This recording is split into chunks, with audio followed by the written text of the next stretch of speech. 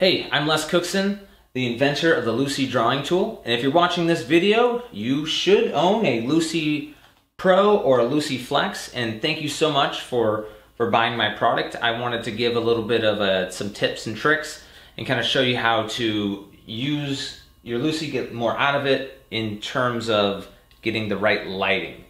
Now, what I have here is Lucy Pro. In terms of um, the filters and the lighting, the optics are the same.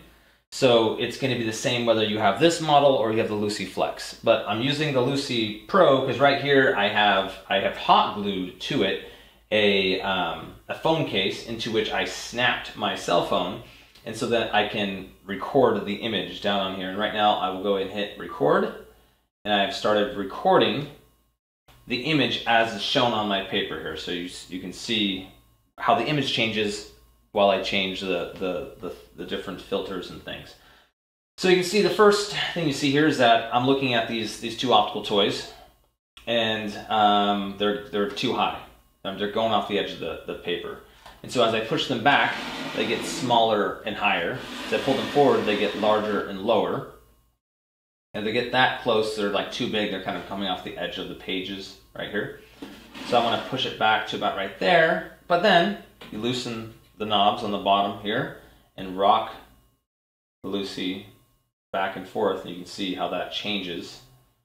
So I'm gonna rock it about right there until we're can make see look I'm trying to rock it but it's the image is too, still too um, large so I'm just gonna push that back a little further to shrink it a little more there we go you can't center something on a piece of paper if it's larger than the paper so you gotta Make sure you push it back until it's the right size, and there it is, centered on my paper, right where I can draw it. I can see the image, I can see uh, my pencil here, but um, I want to use an optical filter to make the image a little bit brighter, make it a little easier to draw.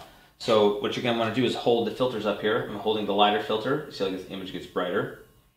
Um, the uh, My phone has a little bit difficulty focusing sometimes when I'm holding different objects or different distances, but you get the idea. I put in the um, the darker filter. Ooh, even even brighter, even brighter image. That's better, right?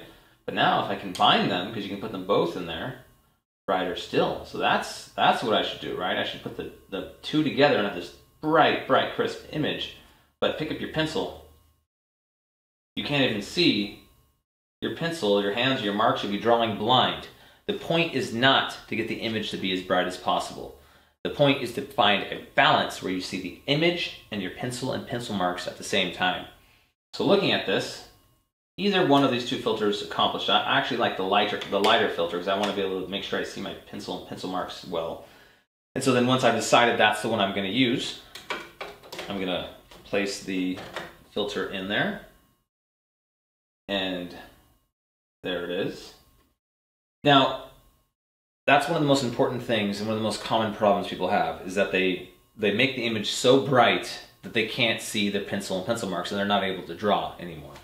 And so that's something I want to show you there is that if you just keep trying to make the image ooh, brighter, oh the darker one's even brighter, even brighter with both of them, you lost your your image. Right here is perfect where you can you can draw the subject here. Forgive my phone that keeps frantic, frantically focusing in and out make your marks.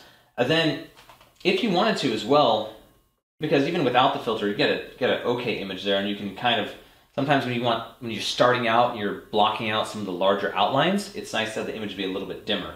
So maybe you have it right here to to block out some of the, the basic outlines and get some of the the broad the broad shapes. And when you do more detail, then you put in the the filter to get more detail to add um, another layer of detail in there. And you can do that by placing it in there, or you can just hold it in your hand if you just want real fast to see real quickly what's there and move it, you know, place it over there real fast to see something, then move it. You can, the filters are a tool that you find the correct balance, but then depending on what part of your drawing you're doing, you may want to start with a little dimmer image, then as you progress, add a filter to, to brighten up the image and um, to get your entire sketch that you need. And so let me talk a little bit about the color of the paper. Um, taking the filter out again. this is white paper. most what most commonly people will use. But if you use a different color of paper, it's going to adjust that image. It's going to change that image. The image is going to look different. So here I have some gray tone. I'll throw that down there. And the image is brighter than it would have been on just the white.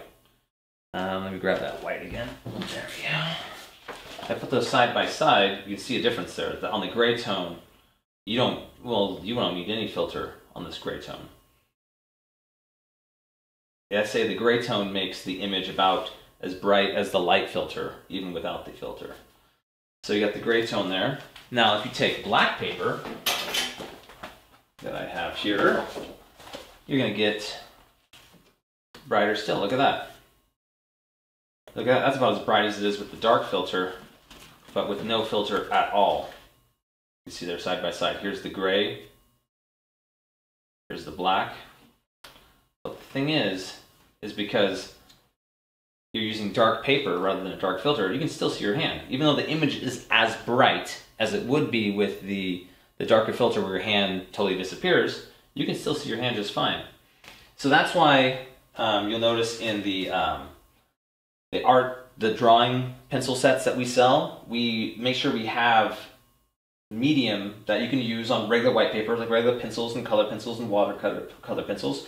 But we also have mediums that you can use on dark surfaces, um, black or dark surfaces. We have earth tones and white pencils. We have metallic color pencils so that if you want to experiment with different colors of paper to help make the image a little more crisp or just just a, it's it's a adds a, adds a little more versatility what you can do. And then you can draw on this dark paper with the uh, with the white pencils or with the earth tones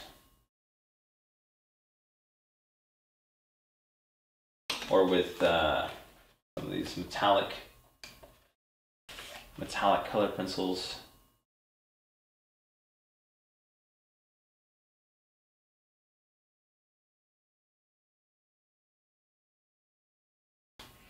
Now, if the image, you might see sometimes this image is, is, is pretty rich.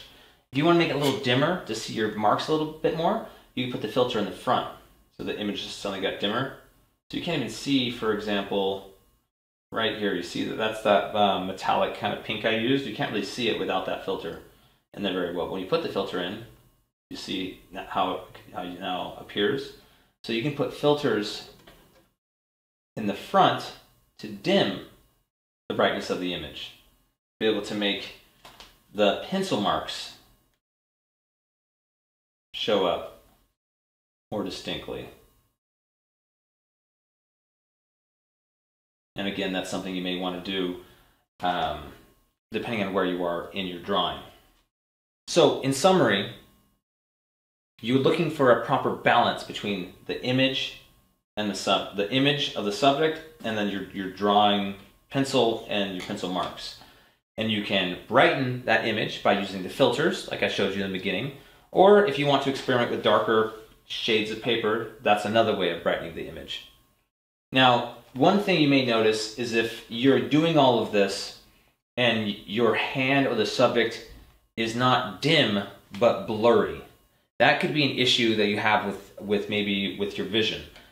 So if you wear, for example, bifocal or trifocal lenses, basically what that means is that you have two different prescriptions for lenses in one pair of glasses.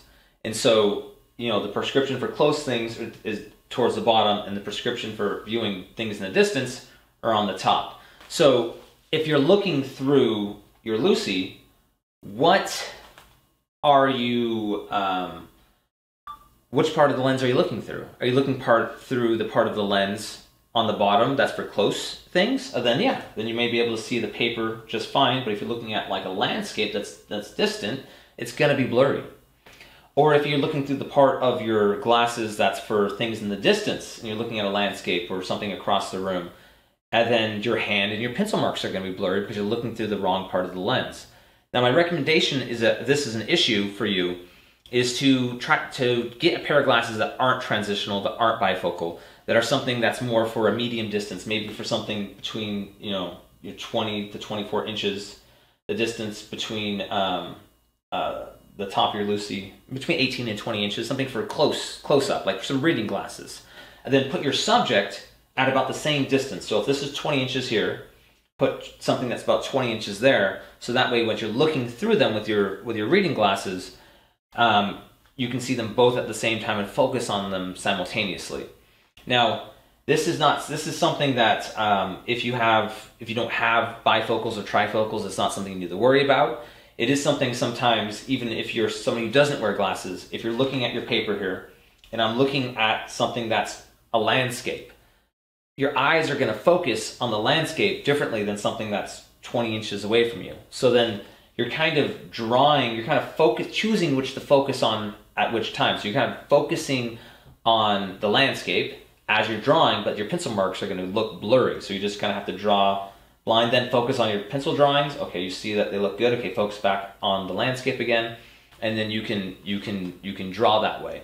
But the thing with bifocals and trifocals is that you actually have a lens that's forcing you to focus on either close or far. So um, if you can if you can not use the, the glasses, or if you can get a pair of reading glasses that are for close distances that aren't transitional or bifocal, that'll give you the best chance of using the Lucy.